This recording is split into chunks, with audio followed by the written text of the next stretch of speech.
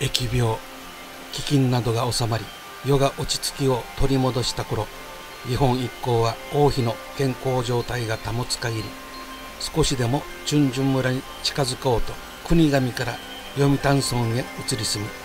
王妃の回復を待ちました。しかしその療養中王妃学びだるは瀬那覇の海岸で不慮の水難事故に遭ってしまいました。なんとか浜に引き上げられたものの懸命の看病も虚しく順々村にたどり着くことなく亡くなってしまいました。王妃専属の警護役で有能な家臣丸という男も王妃を救おうと海に飛び込みましたが王妃を救助した時に波に飲まれてそのまま帰らぬ人となってしまいました。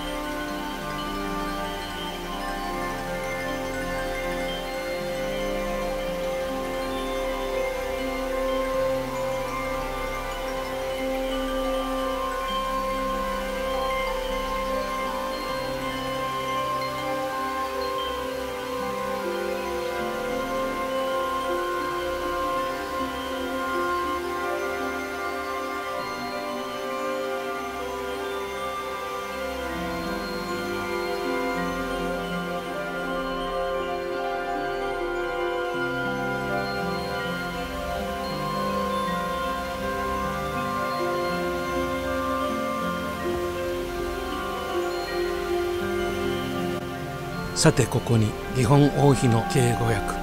丸という有能な男について語ります。時は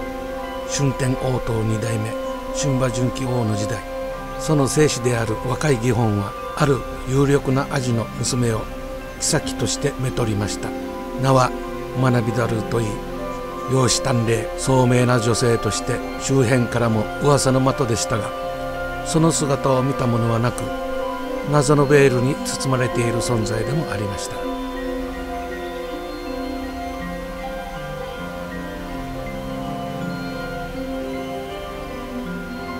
彼女は生まれつきに病弱な体質で常におそば付きの女官2人と専属の警護役に付き添われて生活していました。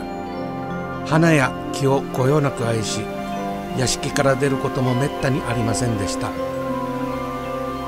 浦臼井浦添の大味である春天応答の三代目に確定していた若き義本に嫁ぐ際にも妃学びだるの父親は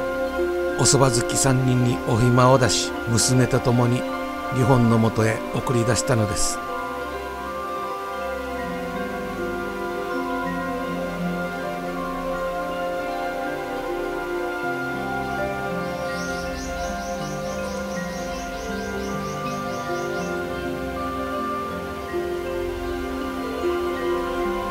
浦添城から独立した日本夫婦は天下太平で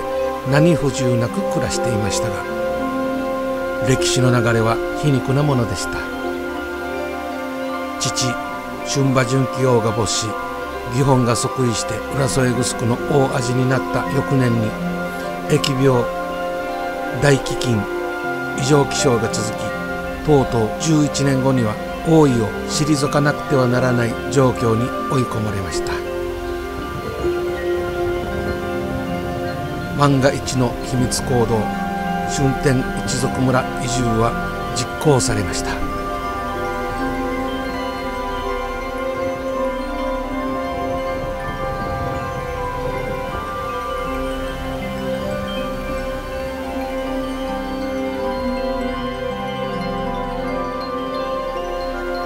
義本一党は英祖の追跡をかわすため直接順々村には行かず念には念を入れて北上を開始しました。第一目的地国頭村ヘドへ到着するまでにも非常な困難に何度も会い王妃マルビダルはしばしば体調を崩してしまいました。同行していた。女官2人は王妃を懸命に介護し警備役の丸も農夫に扮しながら油断なく一行の安全を守りました。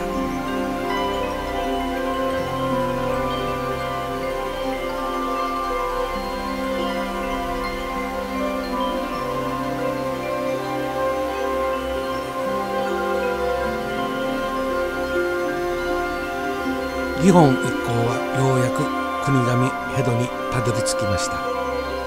丸は学びだるのことを義本に嫁ぐ前からよく知っておりヘドに到着してすぐに王妃の好きな花の木を植えることにしました。このヘドについてすぐに王妃が大変気に入った花は沖縄本島の中北部以南には生息しない貴重な移住の花でした。王妃はその白い花とかぐわしい香りを大変気に入りましたマルーは江戸のアスムイ山中で見つけたイジの木を植樹し王妃はその花が咲くのを毎年楽しみにするほどでした。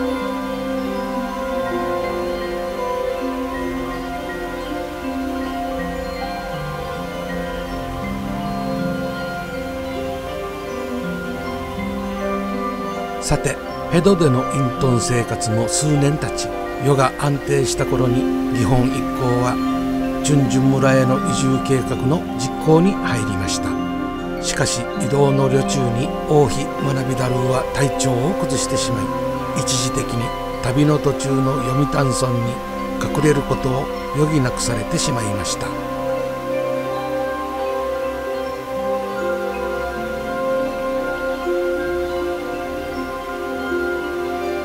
丸は義本に薄悲しい名や車馬記者場村チュンジュ村ん海面装置うなじゃらぬやんめモーティからワッタンシグ薄悲しいメーターウーティーチャビン。と進言しました。義本はその進言を吟味しましたが後発の王妃一行に何かあれば全ての秘密計画が意味をなくしてしまうとしてしばらくの間全員で読谷に隠遁することに決定しました。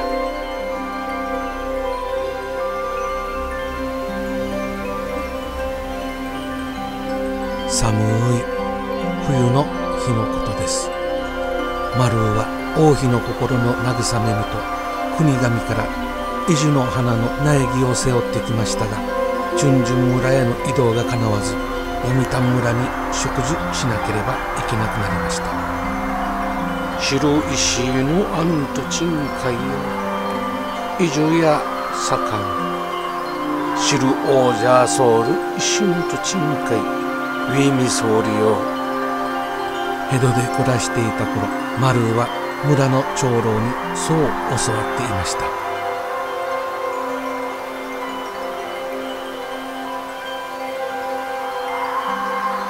探しても探してもユンタンの山にその青白い石は見つからず諦めかけていた時に標高の高い山林の様子が変わり偶然にも青白い石の群れを見つけました。その風景はまるで江戸の山中と同じように見え一か八かで硬い土地を掘り起こしこの山の中をティンまた栗から迎えるチュンジュン村をティン派に花咲かちトラシに総理よとかじかむ手を合わせて祈りながら苗木を植えました。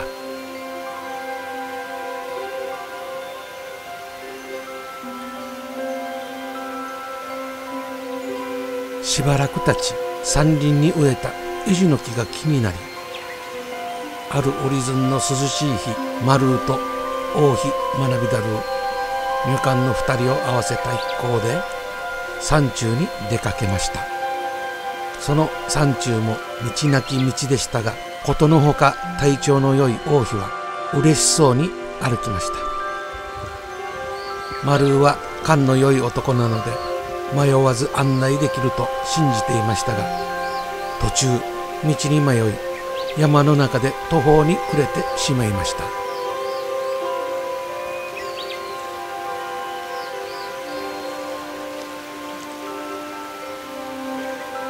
するとどこからともなくあのかぐわしい香りが林の葉を揺らして漂ってくるではありませんか。学びだるは「あがたやさ」と指さした方向に進むとそこには無事に育ったイジの木と白い花が待っていました。4人は肩を抱き合って大喜びし遠い国神を思い出しながら嬉し泣きしました。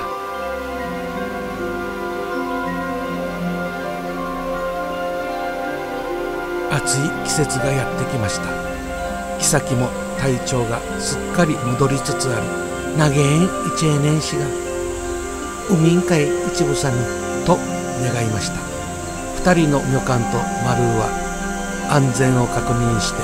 小さな浜に降りました。そこは人目につかず岩場だらけの海岸でしたが王妃も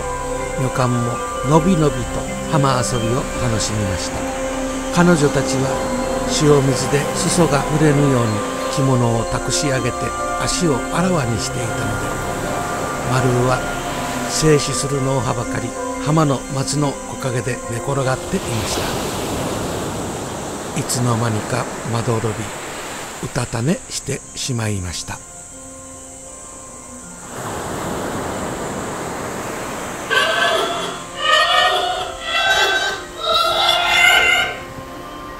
丸は女たちの大声で飛び起きました。見ると王妃学びたるは鋭い岩の向こうの海で手足をバタバタと動かしながら溺れているではありませんか。だっと跳ね起きた丸は自らの足のことなど気にせず鋭く尖った岩の上を走り抜け溺れかけている王妃よりも沖の方へ飛び込みました。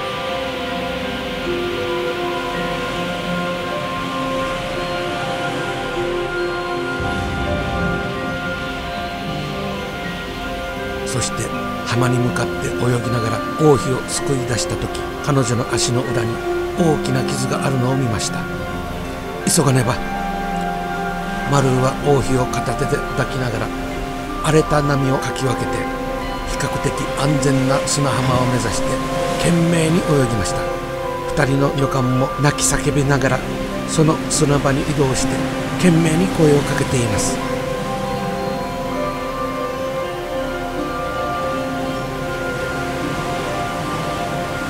とのところで女官2人の手が王妃に届きそのまま浜に引き上げることができました。マルーは少し気が遠くなるような感じを覚え自分の足元を見たところ自らも鋭い岩で深い傷を負ってしまったことに驚きました。血は海の塩水に流れ出し体中の力が抜けていきました。マルーは最後の気力を振り絞り女官たちに叫びました。オラじゃらの口から海の水むるんじゃしみれ。安静注意や主語たしき見てみて。走るよ。そう言い残してマルーは波の泡の向こうに流されてしまいました霞む意識の向こうで女たちの泣き叫ぶ声が聞こえました。